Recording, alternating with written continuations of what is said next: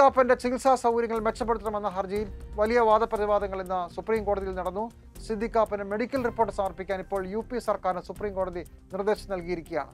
കാപ്പനെ ചങ്ങല കിട്ടുന്ന ആരോപണവും യു പി സർക്കാർ അതേസമയം നിഷേധിക്കുന്നു. പ്രശാന്ത് കുംശം ചേരുന്നു. പ്രശാന്ത് കൂടുതൽ വിവരങ്ങൾ?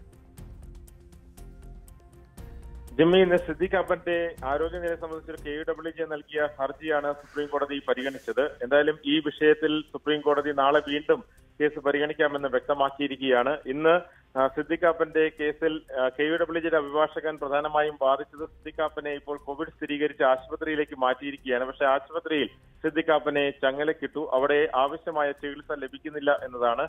ഏതായാലും ഇന്നിപ്പോൾ കോടതി ഈ വിഷയത്തിൽ അടിയന്തരമായി തന്നെ വാദം കേൾക്കാം എന്ന് വ്യക്തമാക്കി. പത്ത് മിനിറ്റിനുള്ളിൽ ഇത് കേൾക്കാം എന്നതായിരുന്നു കോടതി പറഞ്ഞിരുന്നത്. പക്ഷേ സോളിസിറ്റർ ജനറൽ തുഷാർ മേത്ത തനിക്ക് മറ്റൊരു സ്പെഷ്യൽ ബെഞ്ചിന് മുമ്പാകെയുള്ള കേസുണ്ട് എന്ന് ചൂണ്ടിക്കാട്ടി ഇത് നാളത്തേക്ക് മാറ്റണമെന്ന അഭ്യർത്ഥന മുന്നോട്ട് വെക്കുകയായിരുന്നു. ചീഫ് ജസ്റ്റിസ് ഉൾപ്പെട്ട ബെഞ്ചാണ് ഈ കേസ് പരിഗണിച്ചത്. അതിനുശേഷം സിദ്ദിഖാപ്പന്റെ കാര്യത്തിൽ ഇപ്പോൾ മെഡിക്കൽ ബോർഡിന്റെ ഭാഗത്ത് നിന്ന് എല്ലാ മെഡിക്കൽ രേഖകളും ഹാജരാക്കാനുള്ള നിർദ്ദേശം സുപ്രീം കോടതി നൽകിയിട്ടുണ്ട്. ഇന്ന് തന്നെ ഈ കേസ് പരിഗണിക്കുന്നതിന് മുമ്പ് ഈ വിഷയത്തിലുള്ള രേഖകൾ നൽകാനുള്ള ഒരു നിർദ്ദേശമാണ് നൽകിയിരിക്കുന്നത്.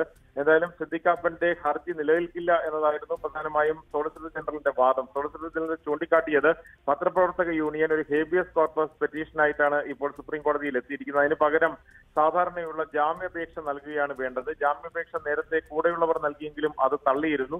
ഈ ഒരു സാഹചര്യത്തിൽ സിദ്ദിഖാപ്പനും ആ വഴി തേടാം. അതിന് പകരം നിയമവിരുദ്ധമായ വഴികളിലൂടെ രക്ഷപ്പെടാനാണ് സിദ്ദിഖാപ്പൻ ശ്രമിക്കുന്നത് എന്ന് തുഷാർ മേത്ത വാദിക്കുകയും ചെയ്തു. എന്തായാലും വാദങ്ങളിലേക്ക് കാര്യമായി ഇന്ന് കോടതി കടന്നില്ല.